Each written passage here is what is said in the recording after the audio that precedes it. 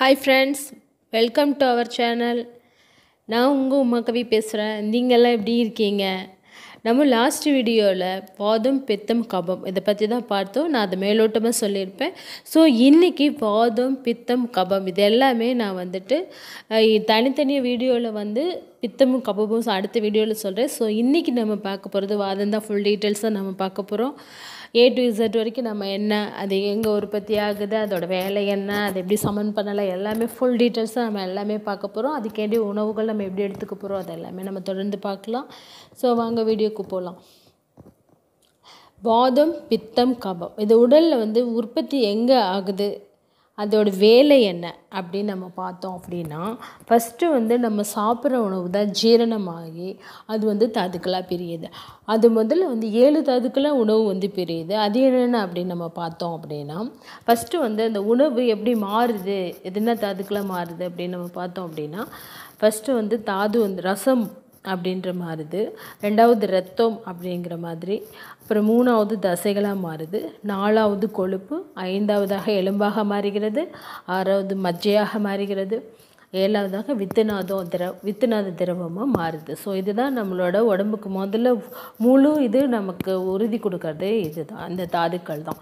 So இப்போ நம்ம வாதம் பித்தம் கபம் எங்கே இருக்குது அப்படின்னு நம்ம பார்த்தோம் அப்படின்னா நம்மளோட தலையிலிருந்து நெஞ்சுக்குழி பகுதி வரைக்கும் கபமாகவும் நம்மளோட நெஞ்சுக்குழியிலேருந்து தொ தொப்புள் வரைக்கும் வந்து பித்த பகுதியாகவும் தென் வந்துட்டு தொப்புளில் இருந்து உள்ளங்கால் வரைக்கும் இருக்க பகுதி கப பகுதியாக நம்ம உடம்புல இருக்குது இப்போ நம்ம வாதம் வந்து முதல்ல இது முத்தோஷங்கள் வந்து எதனால் வருது அப்படின்னு நம்ம பேசிக்காக பார்த்தோம் அப்படின்னு சொன்னிங்கன்னா நம்மளோட உணவும் நம்மளோட வாழ்க்கை முறையும் தாங்க முதல்ல காரணம். ஸோ இதை நம்ம சரி பண்ணிக்கிட்டாலே இது மற்ற எந்த நோயுமே எந்த பிரச்சனைகளும் நம்ம உடம்புல வரவே வரவே சான்ஸ் கிடையாது.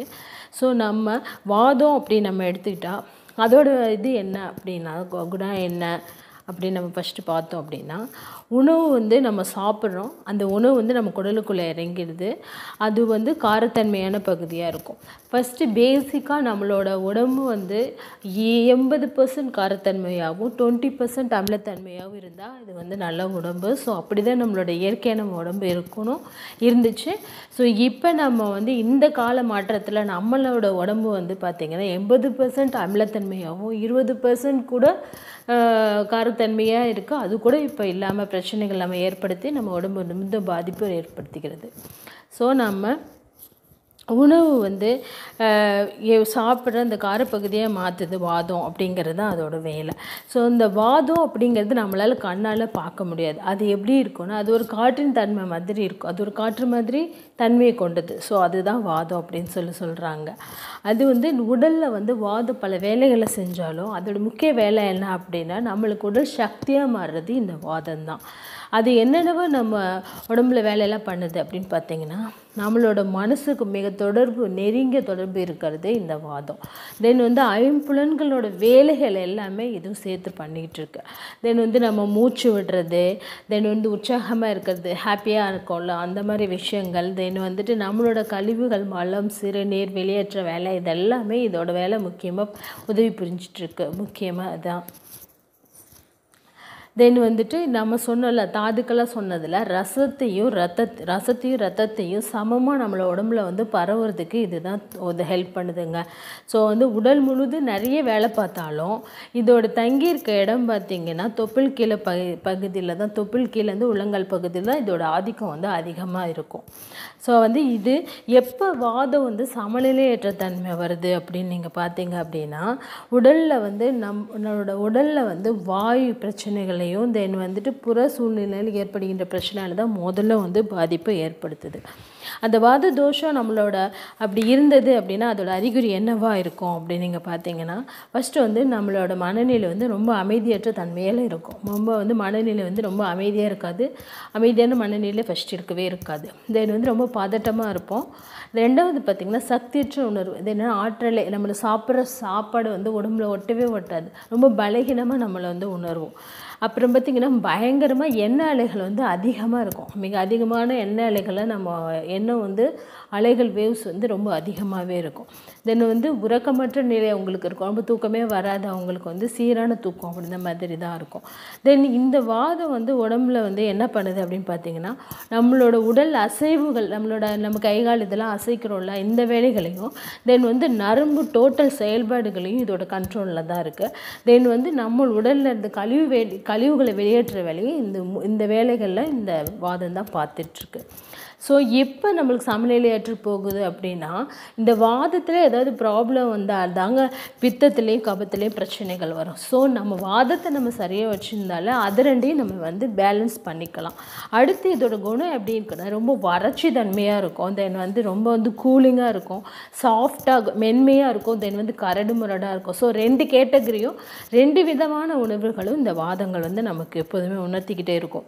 ஸோ அந்த மாதிரி ரெண்டு இந்த பை அது வந்துட்டு ரெண்டு விதமான குணங்கள் இது வந்து வெளிப்படுத்திகிட்டே இருக்கோம். ஸோ அது வந்து நம்மளோட உங்களுக்கு எதோட ஆதிக்கம் அதிகமாக இருக்குது அப்படின்னு நம்ம சில சிம்டம்ஸ்லாம் அறிகுறிகளை வச்சு நம்ம வந்து அறிஞ்சிட்டு அதுக்கு தகுந்த மாதிரி நம்ம சரி பண்ணிக்கலாம். தென் வந்து உடம்புல என்ன பிரச்சனைகளை ஏற்படுத்தும் அப்படின்னு பார்த்தீங்கன்னா ஃபஸ்ட்டு வந்து மலச்சிக்கல் வந்தாலே மலச்சிக்கல் வரும் அப்படின்னு சொல்லுவாங்க. இந்த வாயு கோளாறு வரும். தென் வந்து அடிவயிறு வந்து செரிமானம் ஆகாமல் மந்தமாக இருக்கும். பசிக்கிற மாதிரி பசியின்மை இந்த மாதிரி விஷயங்கள்லாம் இது பண்ணும். தென் வந்து உடலில் வந்து நீர் பற்றாக்குறையை ஏற்படுத்தும். தென் வந்து நீர் பற்றாக்குறை ஏற்படுத்தணும்னா முதல்ல வந்து உடம்புல நீர் குறைஞ்சோடனே நம்ம உடம்பு ஸ்கின்னில் வந்து ட்ரைனஸ் வறட்சியை ஏற்படுத்தும்.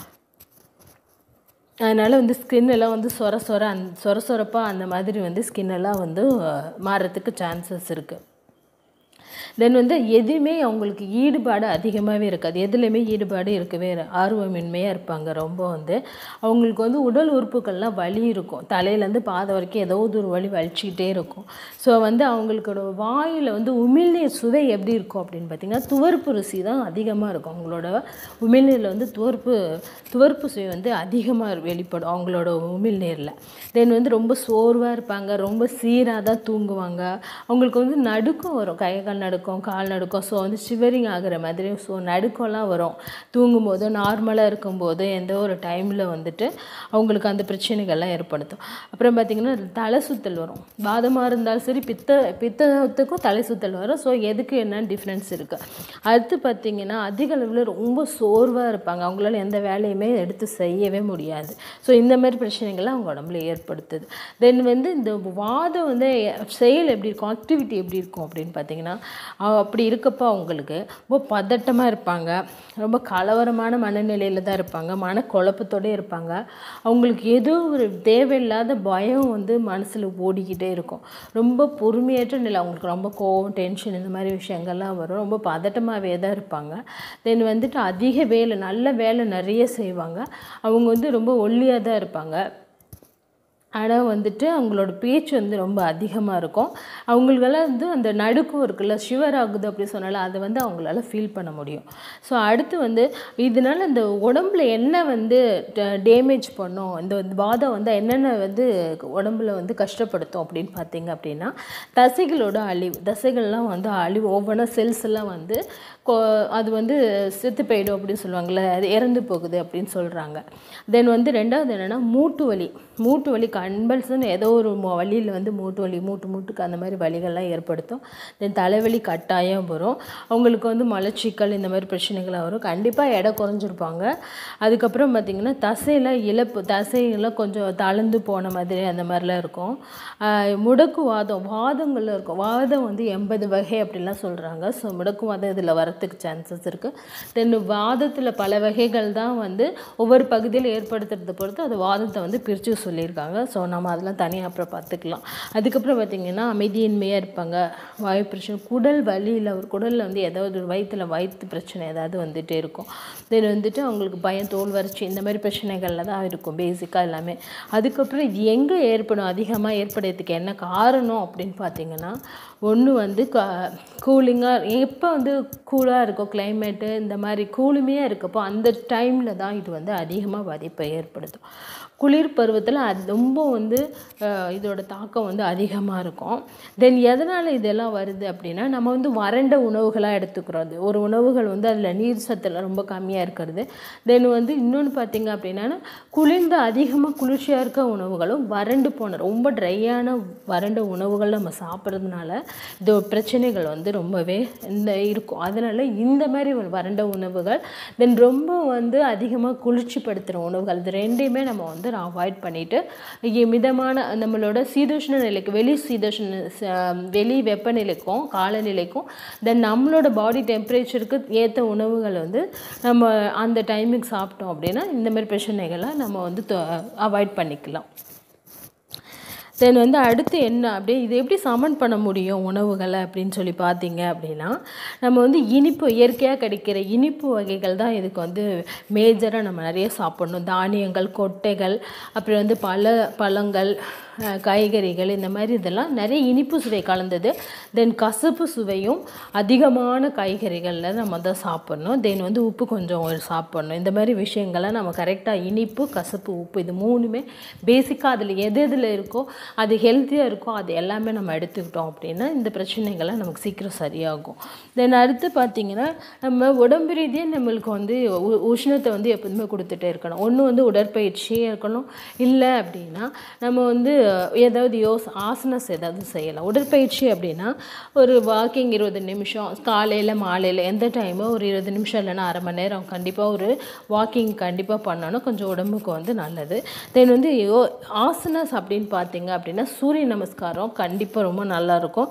தென் வஜ்ராசனம் தென் வந்து சவாசனம் தென் வந்து மகாராசனம். இதில் ஏதாவது வந்து நீங்கள் தொடர்ந்து பண்ணிக்கிட்டே இருந்தீங்கன்னா இதுக்கான நல்ல சொல்யூஷன் வந்து நமக்கு கிடைக்கும்.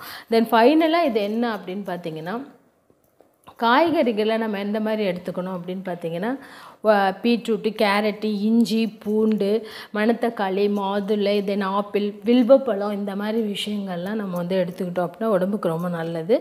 தென் ஓகே இது வரைக்கும் உங்களுக்கு எல்லாமே யூஸ்ஃபுல்லாக இருக்கும். ஸோ இந்த மாதிரிலாம் நீங்கள் மேம்படுத்துனீங்க அப்படின்னா வாதத்தை வந்து கொஞ்சம் சரி பண்ணதுக்கு நமக்கு வாய்ப்பு நிறைய இருக்குங்க. ஸோ முயற்சி பண்ணி பாருங்கள் தென் இந்த வீடியோ உங்களுக்கு வந்து ரொம்ப யூஸ்ஃபுல்லாக இருந்திருக்கும்னு நினைக்கிறேன். ஸோ அடுத்த பகுதியில் நம்ம பித்தத்தை வந்து பார்க்கலாம். பித்தம் காம்பம் அப்படியே தொடர்ந்து பார்க்கலாம்.